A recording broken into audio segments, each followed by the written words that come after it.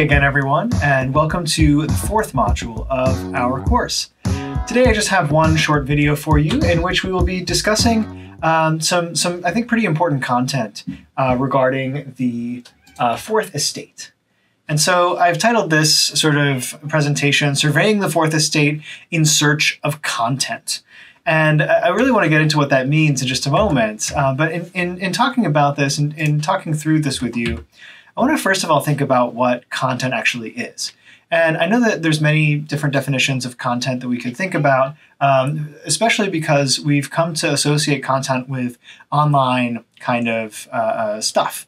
And so I, I, contrast here two potential definitions, one being content meaning the original reporting on a news event or development that leads one to learn new stuff, like gain new information about the world around them, versus a much more expansive definition of content that we might uh, take from sort of some early pioneers of the internet, the stuff in your website. We could think about content that way as well. Um, and if, you know, I think if we sort of hold to this first definition and we say we're really looking for content in terms of stuff that's able to inform us about uh, the world around us that's sort of verifiable, that's vetted, that's credible.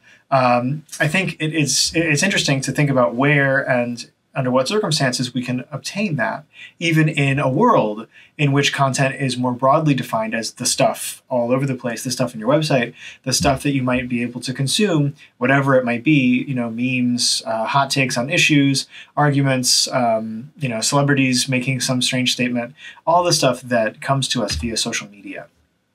And so, really, the, the purpose of this week's reading and the purpose of this week's content is to think carefully about what we mean by the media environment. Of course, the media environment, I've said in previous modules and in previous um, Blackboard discussions that uh, I sort of conceive of the media inf- environment or the information environment as being this kind of ocean or this body of water where there's all these different uh, creatures swimming through and interacting with one another, and some are sort of eating the other ones. Um, there are new ones being hatched from little eggs all the time and coming to join this school of different fish swimming around. Um, and it's a kaleidoscope. It's a very uh, busy scene where there's so many different uh, different sources now of uh, you know big fish and small fish. Uh, um, you know, to so to speak, that are producing content for us. And uh, we think about the legacy media environment or media environment um, as it was sort of before uh, the internet came to be the dominant mode of communication you know, all of these leg- legacy media environment um, sort of producers are still very much active and still very important in the overall uh, environment. And so, you know, I, I, think first of all about radio, which was, of course, um, earlier in the 20th century, perhaps the most important purveyor of information. Know, we think uh, about FDR's fireside chats and the the sort of revolution of radio in bringing content to the living rooms of average Americans. Uh, we can't overstate the fact that that is still something that is frequently consumed by a lot of Americans. In fact, um, vast majority of Americans will listen to, to at least one station on the FM or AM dial on a weekly basis. Still, you know, upwards of 90% of Americans still turn on the, the radio, um, you know, whenever they get in the car, for example. And so while many of us have our devices always plugged in, either through an aux jack or a Bluetooth uh, link to our to our cars, uh, many many Americans still listen to the radio all the time when they are driving. And so music, talk, NPR, all kinds of different stations uh, are, are conveying information about politics, you know, just news in general to uh, audiences that are sitting in traffic every day. So we can't we can't uh, overstate the importance of radio even today. Um, television, of course, is a piece of the media environment that is still perhaps the dominant form of news acquisition in America. Again, despite what you might imagine that everybody is, is consuming social media 24 7. Um, and so we think about distinguishing over the air television and cable television. Certainly, the, we'll talk a lot more in this class about the rollout of cable and some of its implications for politics later. Uh, but we think about, for example, our local PBS affiliates, CBS, ABC, NBC, and Fox. Uh, back in the day, they called this, you know, the big three, the CBS, ABC, NBC sort of triumvirate. Um, that's been joined in uh, in later years by additional entrants to that television um, television bandwidth. But uh, these are still super important sources that we can't overlook. They provide a tremendous amount of, of content on local reporting, and they're consumed by millions of Americans on a daily basis. Many, many Americans get get you know use these over-the-air um, local news channels as their primary news sources uh, in the morning and in the evenings. Uh, and so we can't again overlook this um, piece of the legacy media environment. Of course, cable is an increasing, uh, increasingly popular and important segment in that uh, in that market as well, including Fox News, MSNBC, CNN. Um, I've included C-SPAN. This actually C-SPAN is the oldest uh, television uh, news news network, which of course reports primarily just on Congress, but also has other sort of politics politics uh, pieces. You'd be surprised to know that C-SPAN actually went on air in 1979, so it's incredibly old uh, as far as cable goes. Uh, it wasn't until the 80s, the very late 80s, that CNN actually had its uh, heyday, and then now, of course, um, Fox and MSNBC and the more sort of niche partisan news outlets are becoming more um, and more important in the media environment today. And then finally, on the slide here, I've got a discussion of print media, which uh, certainly one of the big trends that we will talk about uh, in this week's discussion is the, the substantial decline in the circulation of local dailies and even national circulation newspapers. So much so that um, you'll, you'll read, hopefully, um, in, uh, in the reading for this week, that Washington Post was actually bought out by Jeff Bezos, the, the uh, founder of Amazon, um, you know, not too many years ago partially because this uh, this media environment makes it very hard for for uh, print newspapers to be profitable, and so uh, we've seen this this happening again and again. We've had layoffs and stuff at the Baltimore Sun, and a dwindling of the number of reporters providing that uh, that hard hitting daily um, reporting that you'd expect from local dailies. Um, we also have other pieces of the print landscape, including periodicals and magazines, and importantly, actually, I would say alt local news publications. I highlight here the City Paper, which is actually a defunct alt weekly that came out um, in Baltimore. It was a source of a lot of commentary and news on, um, you know, town halls, uh, on uh, you know what's going on in City Hall, the the mayoral uh, politics and, and all kinds of things in, uh, in city government. And so these actually do provide a tremendous amount of news. I have here also tabloids, which provide maybe not so much news, uh, usually just sensationalism and just really wacky stuff these days.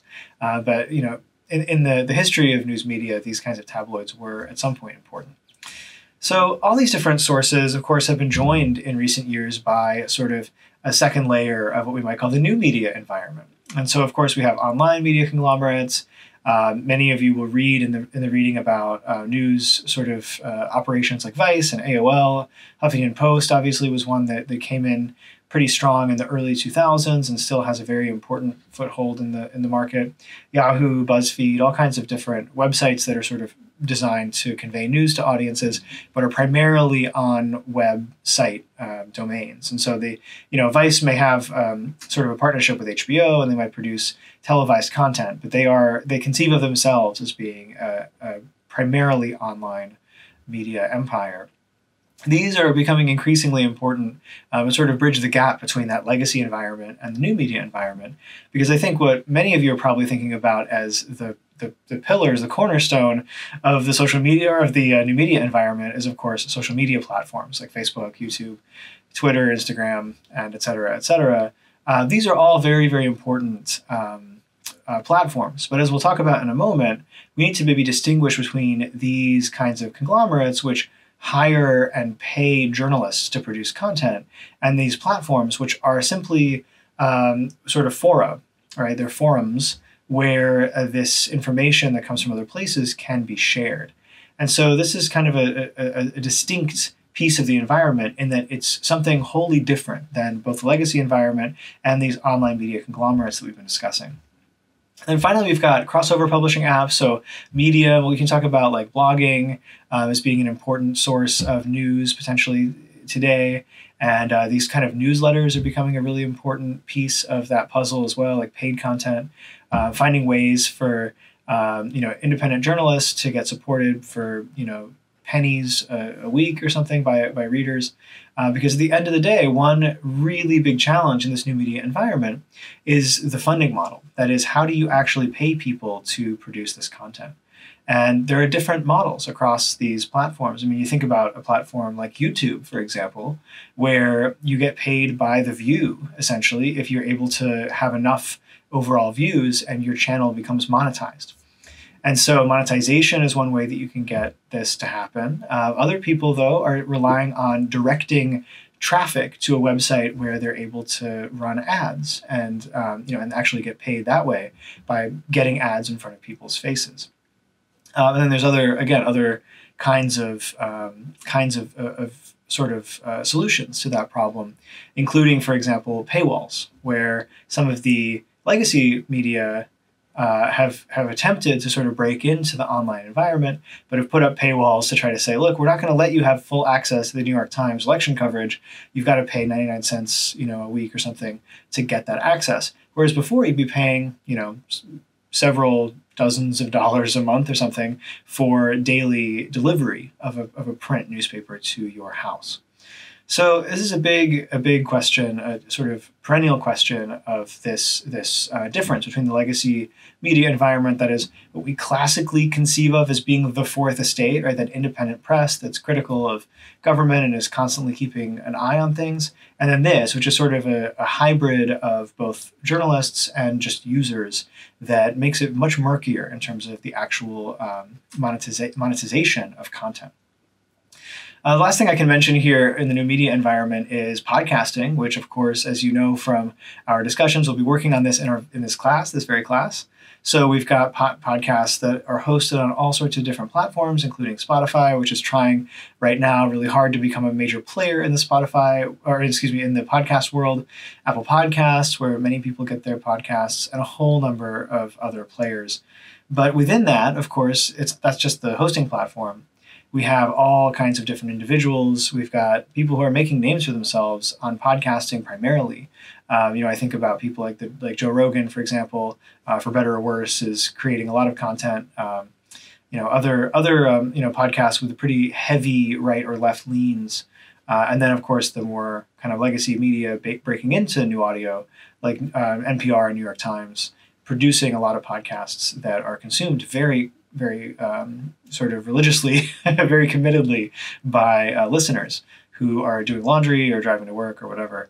Um, this new audio is becoming an increasingly um, important form for conveying news and for news news uh, commentary today.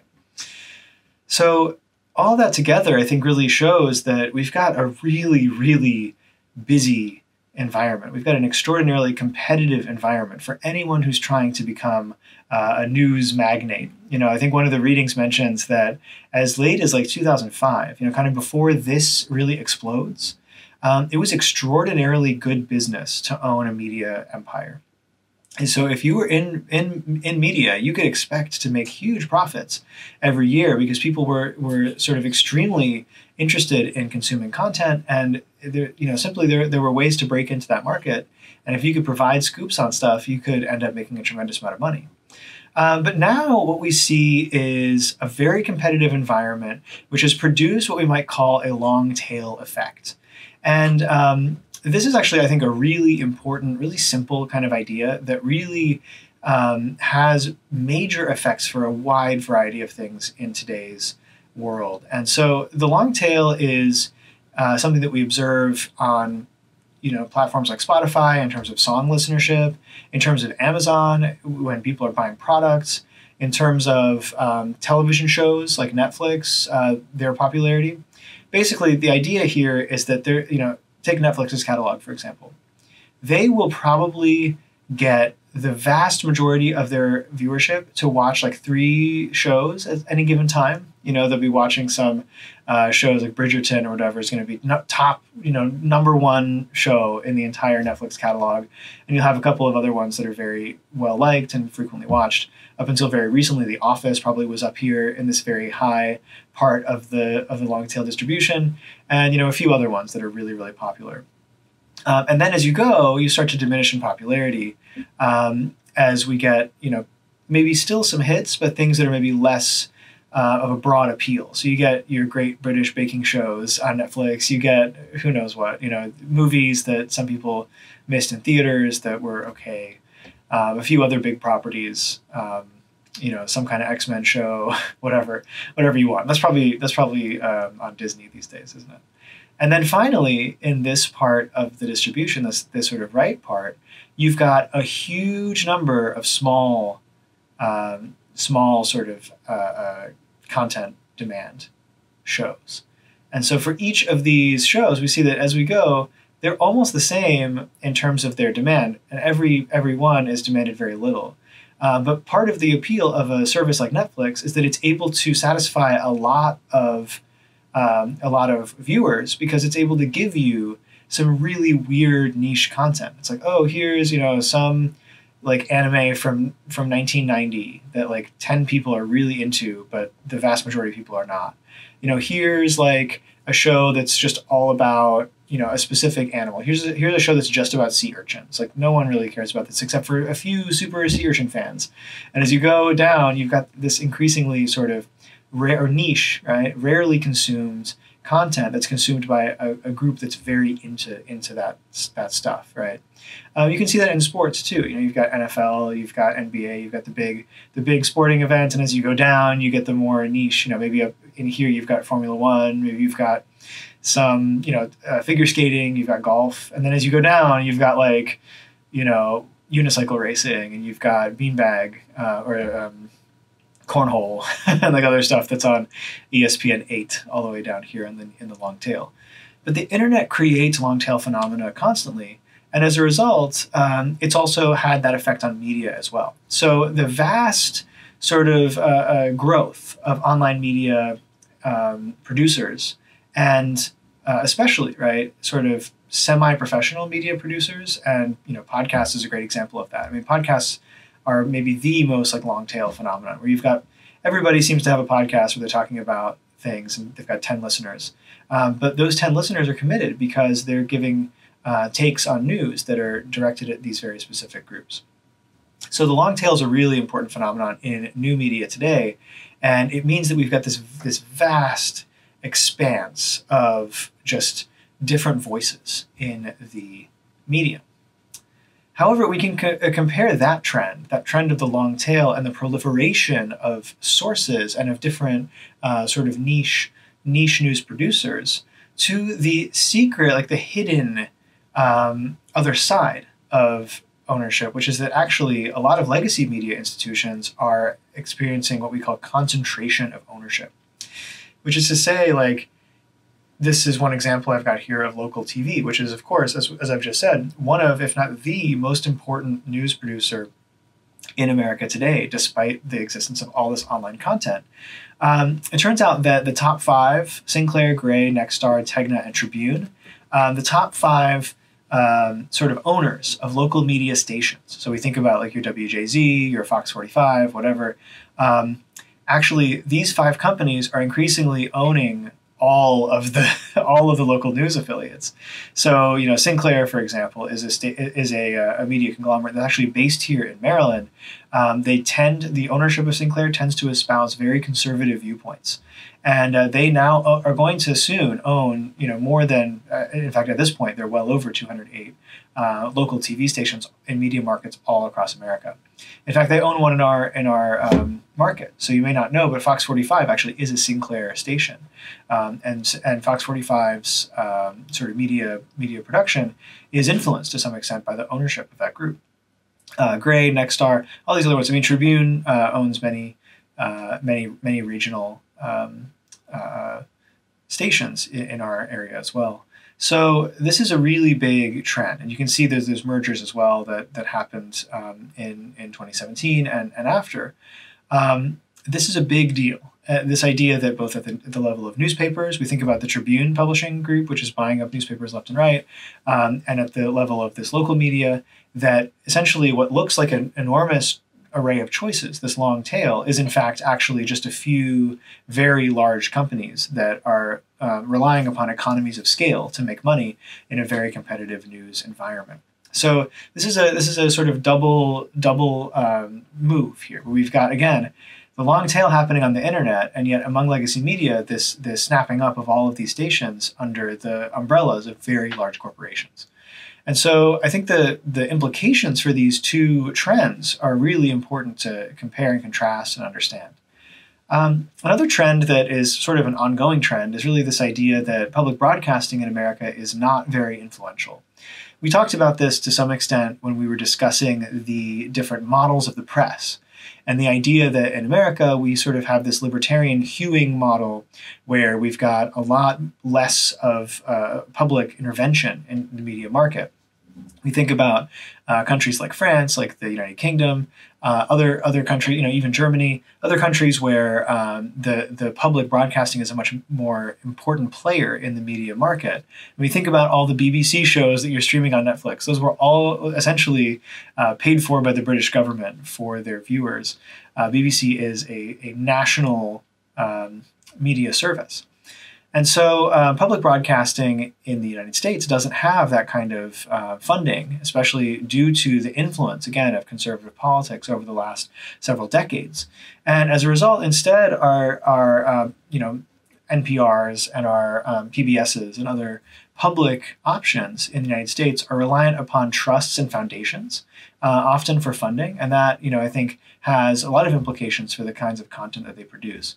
And also, I mean, we have to remember that these these uh, groups are being dwarfed, despite the fact that trusts and foundations are, you know, providing them with with with uh, support as they go. They are simply being out outmoded by inc- incredibly powerful and uh, incredibly wealthy corporations whose number one, you know, business right now is news. So this brings us to a number of questions that I think we need to talk about and think about certainly before you uh, you know get to our next Blackboard Collaborate meeting. And the first question that we need to consider, and certainly the reading will have some insight on this as well, is who is it out there that's actually making content? And by content, of course, we can mean many things. And so if we break this down, we could think first of all, who's actually producing original reporting? That is, who's actually sending journalists out into the field with notepads or you know in many cases with smartphones to interview local people to figure out what's happening to get the details from the police about the case to go to city hall and ask tough questions of the mayor or the city council. Um, who's actually finding out what's going on? Who's actually sending reporters in the field to do original fact finding? Another question is who's providing commentary and interpretation uh, in today's news environment, we've got a very important role for uh, commentary and for journalists to help us interpret what's going on by giving us the backstory, by giving us history, by giving us context. Who's providing the context? And is this maybe group of people uh, larger than maybe the group of people that's doing original reporting? Um, who's reacting to content? Certainly, this is an even larger, maybe, contingent and brings in even more so than these other things, the uh, world of social media. And then also, is this really all that is important in news production today? Are there other forms of content that are nevertheless important for audiences in today's environment? And what is, what is that stuff, and who is it that's producing it? And so, if we ask ourselves those questions as we're doing this reading, as we're encountering this content, and we're thinking about just the lay of the land, the actual amount of content that's being produced, and the number of players in this very crowded media environment, I think that we might end up, um, you know, coming to some important conclusions. And so, you know, I think that the, one of the, the first conclusions that we might think about, we might ponder as we're doing this reading, is first that social media often we think about this as an enormous generator of content, but it's really actually uh, a source for content propagation, and even as as we uh, read some of the reading this week, even pro- uh, content curtailment. That is a place where content can actually be uh, be stifled and cut off, and that's a, an increasingly important debate that needs to be had today about the degree to which social media is in fact you know allowing for the flow of information or if it's shutting off the flow of information. Um, one thing that we have to remember as we're thinking about this is, of course, again, this idea that legacy media, especially newspapers, nonprofit journalistic, um, you know, eh, groups like ProPublica and local TV reporters are actually the top producers of important news content today, um, and their funding model is essentially directly proportional to the amount of local direct content that we can we can have. Um, but again, when we go back to social media, we've got to think about think very carefully about users and how the democratization, the leveling of the so, of the playing field, the media playing field with social media, might change our both our definition of content and the amount of content that's produced. And so I think we can have a very interesting and potentially lively debate about whether social media is sort of uh, helping or hurting in some of these uh, in some of these trends um, especially with the Tucker et al. reading, I think it's important to focus on this this uh, idea that uh, social media is becoming uh, more and more a platform in which we're seeing a struggle between sort of pro-democracy forces and anti-democratic factions, both in the you know various countries where we've actually seen protracted crises of democracy, and even in our domestic politics as, as well. And so there's some really important uh, questions to be had about kind of the the biggest question of the course, which is what does this all mean for the health of democratic linkage? And so, as you're reading uh, uh, today and as you're reading for the rest of the week, I want you to really think about uh, what we're learning about the state of the fourth estate, that is, the state of this independent uh, media institution. Um, what are kind of the biggest trends? If we could do a takeaway of each of these different um, different media, what are the biggest trends, both politically, uh, economically, what have you, um, in, in, all of these different sources? Um, especially when we think about social media, are are these media networks increasing or decreasing the production of original content and the propagation of original content? Uh, and again, really getting down in all of these uh, answers to the question, what this means for democracy itself. Because as I've posed uh, to you at the beginning of this class, at the end of the day, all of our conversations about the intersection of media and politics in a democratic country have to do with this linkage and whether or not this linkage is strong, whether it's robust, whether it's healthy, or whether there are problems with it that require solutions either from private sector reform or from some other source. And so I hope that this is an interesting set of readings for you. I hope that this really gets you thinking about what's out there simply, really getting a lay of the land of like what is, um, you know, what are media today and uh, I hope that that uh, certainly is a, a, springboard for an interesting and exciting conversation that we will have uh, during our weekly session. I'll see you then.